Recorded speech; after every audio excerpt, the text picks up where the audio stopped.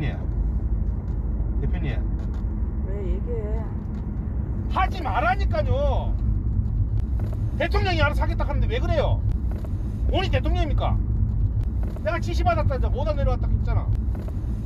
본인 그러면 김건희한테 얘기하죠 그러면. 장난하는 것도 아니고 진짜. 두 번이나 전화 왔어요 두 번이나.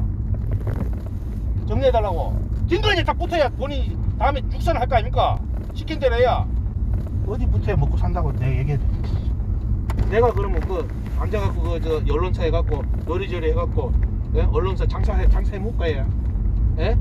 그럼 김건희 대통령 김건희하고 대통령이 내보면 뭐라 하겠습니까? 장사라는 얘기가 아니야. 하지 마이소 모르는 건 하지 말라니까요 안전한 거는 본인이 안전한 본인이 안전하게 하이소 제발 본인이 왜 판단합니까? 오야가 위에서 쏘락하면 쏘야지. 본인이 오야입니까? 본인 그 김건희한테 가서 김건희한테 뭘 말이나 똑바로 해요? 김건희가 권력을 쥐고 있잖아요.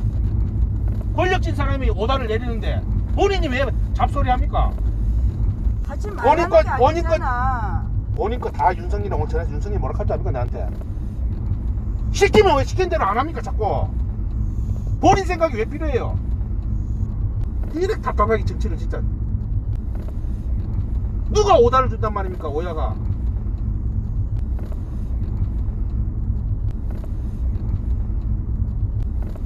내가 꼭 그런 얘기를 해야 됩니까 시키면 시킨 대로 하이소 그냥 내가 지금 돈 지금 여론조사 장사합니까? 내 여론조사 해갖고 돈 10원이나 남기는 거 봤어요. 그냥 그 벌은 못 주고 그냥. 그냥. 내가 그러면 그 앉아갖고 그 저 언론사 해갖고 요리조리 해갖고 예? 언론사 장사해 장사해 못 가요. 예? 그럼 김건희 대통령 김건희하고 대통령이 내보면 뭐라 하겠습니까?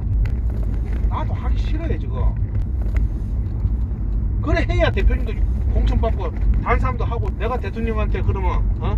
대통령이 지금 됐는데 당신은 정권 교체해서 여론이 적으니까 그냥 이해하고 그래 하소 이래 할까야 아 김영석이가 이래 이래 하라는데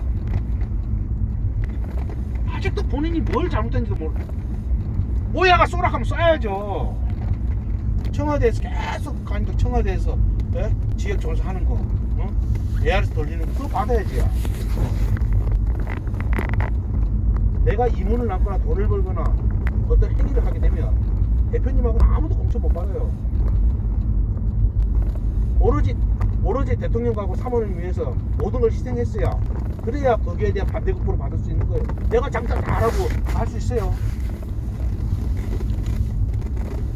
내가 김건희한테 윤석열한테 돈 받은 거 있습니까? 예? 그러니까 내가 가서 김영수에 공천 달라고 하고 저 공천 달라고 이야기할 수 있는 거지. 예?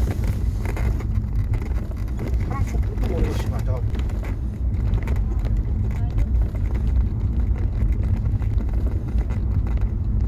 서울에 지금 사무실에 언론사 누가 그 사람을 쓰고 누가 그걸 운영한단 말이야.